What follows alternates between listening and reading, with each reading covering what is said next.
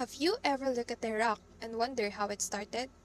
Today, we're going to talk about rock-forming minerals. But first, what is the meaning of it?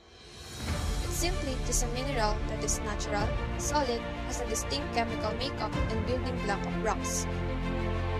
The rock-forming minerals are quartz, feldspars, amphiboles, micas, olivine, garnet, calcite, and pyroxene.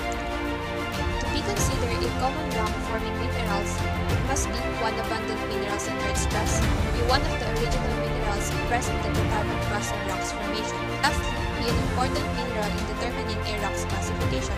This kind of information is very interesting, knowing how old our Mother Earth is and how useful minerals can be.